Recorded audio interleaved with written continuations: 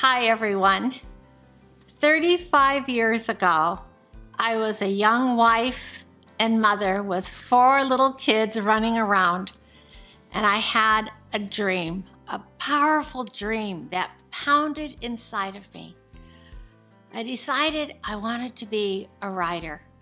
At that time, there weren't a lot of women's fiction out there, or a lot of women authors. But the dream would not let go of me.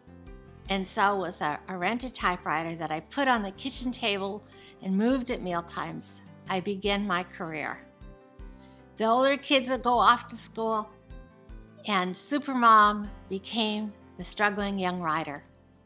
I wrote four books, and I loved what I was doing.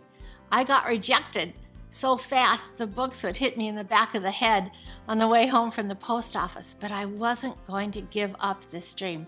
I was stubborn enough to continue.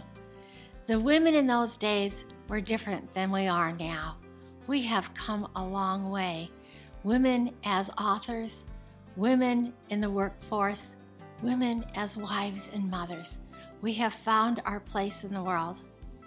And the stories that I told back then, that came so much from my heart, the characters they were, are not the women of today, but they still tell a good story.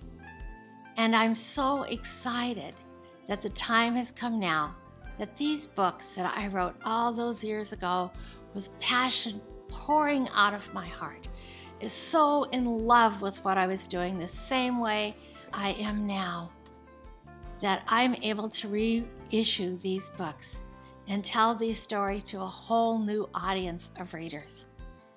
This is a wonderful time in my life, and I know that the very best is yet to come. Thank you.